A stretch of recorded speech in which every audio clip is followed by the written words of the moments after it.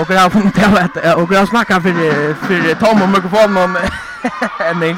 Men jo, jag kommer an nu. Tack så mycket. Har det kommit gå här till er kunde inte tagga till Mjölnor som har haft det bättre början till förra 11-6 är det första sättet. TP har var bara gott åter och och så tja och alla häxna stöje.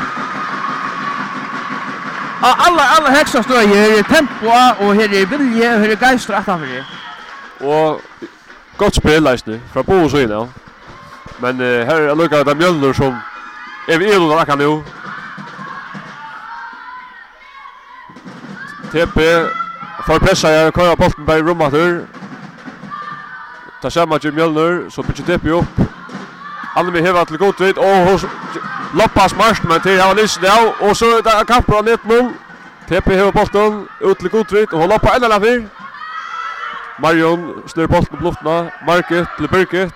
En annen fyrir bara i rom. Tepe lettliga bytja upp. Til slår atterfra til Marina. Men Marion er her. Ut til Birgit. Hun hamrer til. Og han fyrir ut. 8-11. Nei, dommer levet opp tush. Ja, det var tush. Ein tepelegger hei uh, lykka fingerspørsene og Arna får ut. Det var, jeg hører ikke, jeg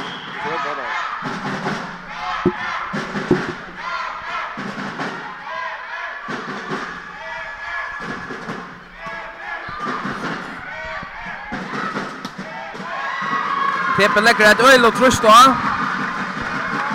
Men Mjølner regner svære etter. Her spiller han så er det vi har slå han dom.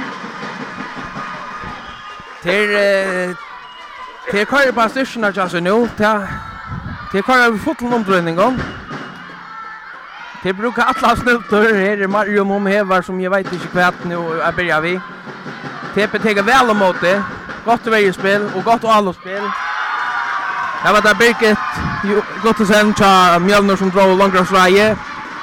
TP till Mjölner heva ett trutchapperna i träckar till Birgit och blockar ja TP vera kurja för men hon hoppar så högt att hon slår på platsen. Och tog kan TP